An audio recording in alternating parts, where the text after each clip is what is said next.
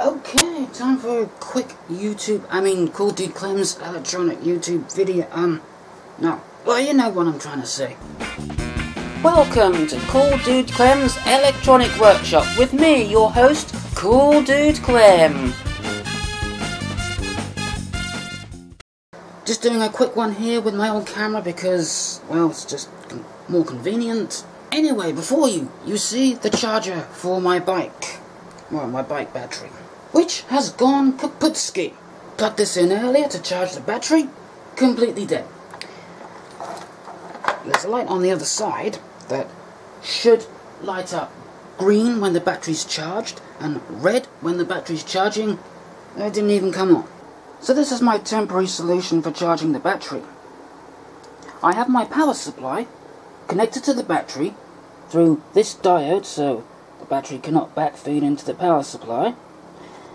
And to limit the current, I've got these two light bulbs, which are progressively getting dimmer as the battery gets more and more charged.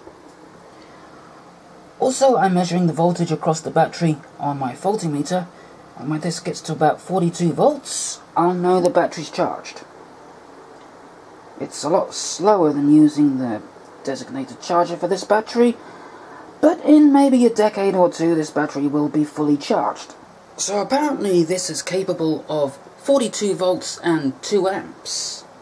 Which, if my calculations are correct, that's about 84 watts. And I seriously doubt that this is capable of 84 watts output. I think that's a little bit optimistic. I'd be surprised if it could do even half of that.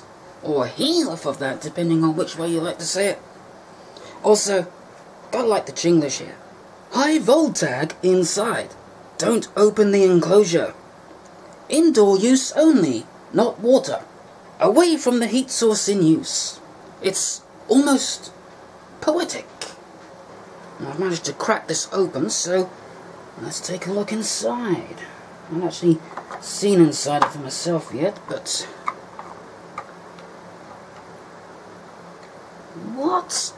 Are you kidding me? That's all that's in it? Yeah, look at that. There's almost nothing in it. No wonder it's so light.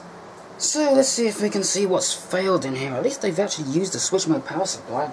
Surprised they're not using a capacitive dropper, you know, Chinese electronics. You know, I don't even think they've got a um, inrush limiter on this. And is this what's providing that 84 or so watts of power? This tiny little switch mode IC? I assume it does have some parts on the back. That's not all that's in it, surely. Okay. Well, that looks a little more populated. I'll see this for them. At least they've got good clearance between the high voltage and low voltage side. Don't see any interference suppression capacitor, and that was very, very stupid of me what I did, did just then. Because I don't know how long that capacitor will hold a charge for. Yeah, I'm just going to take a closer look at the other side of the circuit board. See if I can see any obvious defects. Okay, so, not much on the other side either. So we got our mains coming in, full bridge rectifier, going straight into a capacitor. Yeah, no inrush limiting whatsoever. This appears to be an LM358 op amp, or at least when I look through this lens, that's what I saw. And this resistor here looks a little how you're doing. I know it's not you're not going to be able to see that on camera. It's a 100 ohm resistor here that got a little divot in it. I'm not sure if it came like that from the factory or something's happened to it. Just going to probe across some of these components and see if there's continuity. See, is there any continuity across the output? No, that's completely open. Just going to probe that resistor, see if that's alright. Should be 100 ohms. And no, that's completely open as well. My probes are working, aren't they? Yeah. Probes have continuity. This resistor doesn't appear to... Is that all that's wrong with it? Just that one resistor? Said that looks a bit dodgy. My diagnosis is that just couldn't handle the current and just went... Well, that's all that's wrong with it, that's going to be an easy fix.